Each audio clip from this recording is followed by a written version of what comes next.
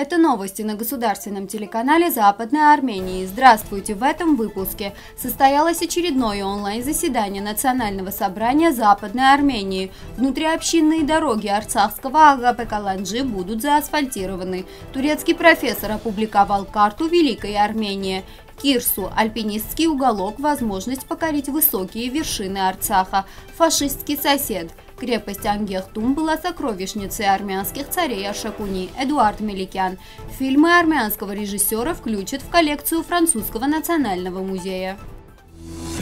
12 января состоялось онлайн-заседание Национального собрания Западной Армении, на котором присутствовали депутаты Республики Западной Армении из разных стран. На заседании были обсуждены вопросы, связанные с внутренним распорядком Национального собрания. Основной вопрос повестки дня заседания касался функций созданных комиссий, предложений депутатов, входящих в состав комиссий, на основании которых будет определен график работы комиссий. Заседание ввел председатель Национального собрания название Леонардо Басмаджан.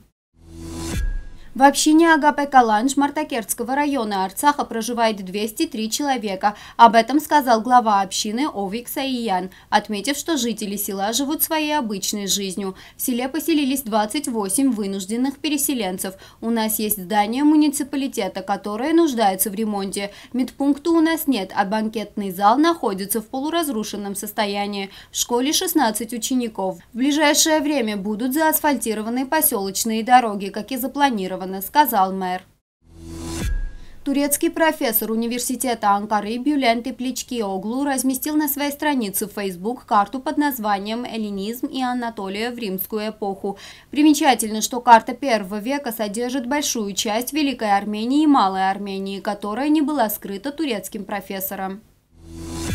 Альпинистский уголок Кирсу – это программа развития общины, созданная в рамках программы «Учи Армения». Об этом в беседе с корреспондентом Арцах Пресс заявил автор программы Арцрун Аршакян, отметив, что она осуществляется благодаря фонду ОСМ Арцах при поддержке Федерации альпинизма Армении. В рамках проекта в трех школах Степанакерта построена искусственная стена для скалолазания, которая является первой такой стеной в Арцахе. Альпинистский уголок Кирсу станет местом, где будут будут проводиться уроки природы, альпинизма, географии и оказания первой медицинской помощи, а также будут организованы регулярные походы, которые позволят арцахским детям познакомиться с Арцахом за пределами своих общин. Цель программы – физическая и психологическая закалка арцахских школьников, передача новых знаний и знакомства с природой, горами и Арцахом в целом, сказал Аршакян.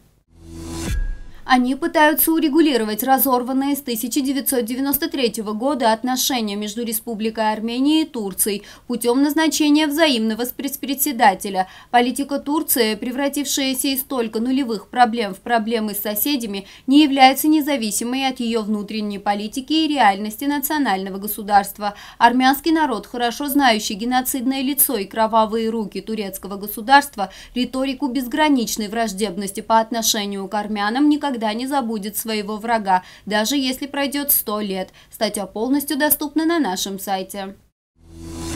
Об этом на своей странице в Facebook написал Эдуард Меликян, изучающий клинописи карты. Теперь настала очередь крепости Ангех-Тум в провинции Ахдзник, что пишут все наши историки о крепости Ангех. Имя Ангех происходит от одноименного божества. Ангех выделялся своим стратегическим положением и историческими зданиями. Город-крепость находится на берегу реки Тигрис. По свидетельству Агатангероса, великий князь Ангех-Тун ставился сразу после четырех армянских пограничников язычников, областей, находящихся под властью бдешхов. Воинская часть Ангехтун составляла 3400 кавалеристов, которым верена охрана армянских западных ворот. Рядом с водохранилищем, построенным в этой части Тигриса, сохранились постройки. Согласно Павстосу Бюзанду, крепость Ангехтун была сокровищницей армянских царей Ашакуни. Три фильма армянского режиссера Сергея Параджанова будут включены в коллекцию Французского национального музея современного искусства имени Жоржа Помпиду.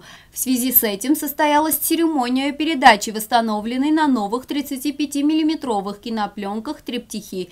Киевские фрески Акопов Натанян и арабские символы на тему пиросмани. Весь процесс реставрации трех фильмов представил через презентацию Дэниэль Бёрд, партнер Национального киноцентра Армении, куратор программы «Классика армянского кино» и специалист по реставрации фильмов. В мероприятии приняла участие директор Национального киноцентра Армении Шушаник Мирзаханян. Далее для вас армянская народная песня. ինչպես աշխարհը հեմեն դախարե